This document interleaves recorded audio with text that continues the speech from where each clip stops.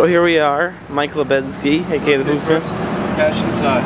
Yep. That means you gotta go in there and give him money. Come on, press cash inside. Yeah, just go in and give it to him. I'll get to your money.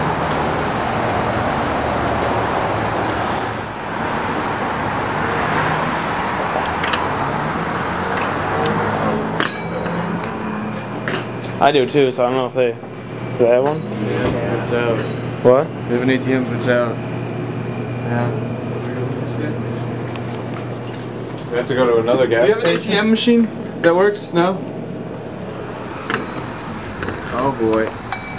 Ow. we got one in Mars?